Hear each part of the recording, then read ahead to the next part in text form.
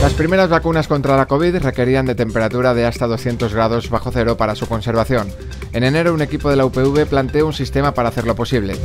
Y ese mismo mes, otro grupo de esta universidad presentó otro sistema para detectar el virus en el aire.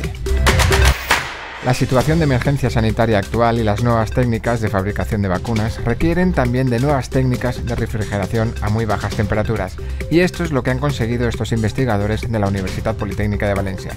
En sus laboratorios del CMT Motores Térmicos han desarrollado un sistema que permite la conservación y transporte de vacunas a temperaturas de hasta 200 grados centígrados bajo cero. Y en el momento actual el tema de transporte de vacunas es un problema logístico que, se, plantea, se plantea en todo el mundo y, esto pues bueno es una solución rápida que permite eh, poder funcionar, poder mantener esa cadena de frío en, las vacunas. Mantiene un ciclo con aire en el cual pues eh, a través de descompresiones y de intercambiadores de calor consigue mantener esas temperaturas bajas que se requieren en, la cámara de frío.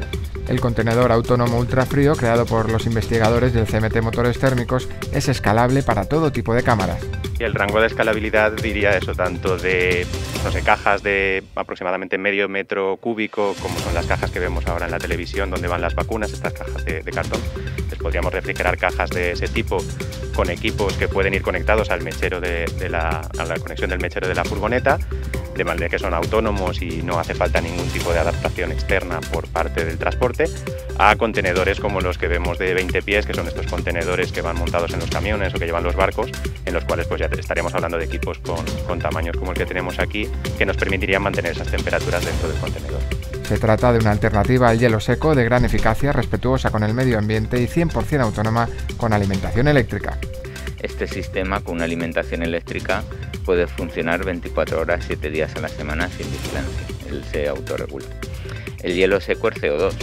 Cuando el CO2 sublima es emisión de CO2 a la atmósfera. Eh, en pocas cantidades no es un problema, pero si, por ejemplo, el caso de las vacunas es algo mundial, eh, las cantidades de CO2 que van a ser necesarias y que van a sublimar la atmósfera, pues podrían ser importantes. Aquí trabajamos con aire. El aire pues es abundante, es eh, fácil de reponer, no tiene obviamente impacto ambiental. El equipo del CMT Motores Térmicos de la UPV dispone de un prototipo del CAU instrumentado y en funcionamiento en uno de los bancos de pruebas de sus laboratorios.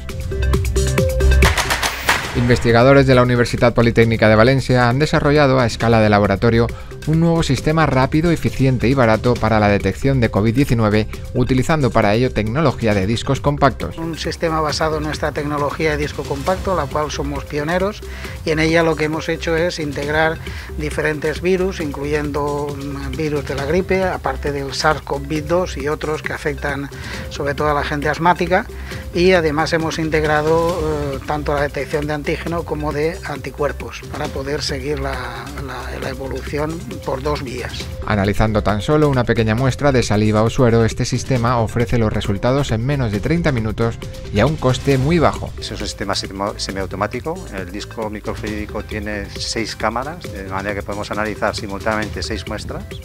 Y como digo, tanto saliva como suero, independientemente de lo que queramos detectar, las muestras mucho menor que el precio que están eh, que las PCR o los ensayos de antígeno o de anticuerpo actuales. El sistema ha sido evaluado en colaboración con el Hospital Clínico Universitario de Valencia y el Servicio Integrado de Prevención y Salud Laboral de la Universidad Politécnica de Valencia. Los resultados han demostrado que es un sistema eh, eh, muy práctico, muy sensible y de alta especificidad tanto para las dos muestras, eh, tanto para ensayos serológicos como para ensayos en saliva. Y esto tiene la ventaja de no tener que hacer eh, que la toma de muestra no es tan incómoda como introducirte un bastón para ensayos nasofaringeos, simplemente eh, utilizando un, un, mililitro de saliva pues permitimos la detección de los antígenos. Además de para la detección de anticuerpos específicos y antígenos de SARS-CoV-2, puede aplicarse ahora y en el futuro para la detección de otros virus. Lo que nosotros hemos hecho es ir más allá y tenemos soluciones para seguir aplicándolas eh, y como he dicho, por ejemplo, para detectar gripes y distinguir gripes en este momento de, SARS, pero eh, como digo, tiene mucho potencial de cara al futuro, sobre todo. El desarrollo del sistema combo SARS-CoV-2 ha sido financiado por la Consellería de Innovación Universidades Ciencia y Sociedad Digital de la Generalitat Valenciana, en el marco de la llamada que el pasado mes de marzo lanzó a los agentes del Sistema de Innovación de la Comunidad Valenciana para desarrollar soluciones innovadoras en la lucha contra el coronavirus.